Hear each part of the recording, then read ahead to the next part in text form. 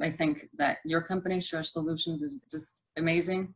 I have helped out many clients. I think that anybody who needs to open up a practice or needs a business plan or needs anything should certainly go to you. And it's a pleasure working with the both of you.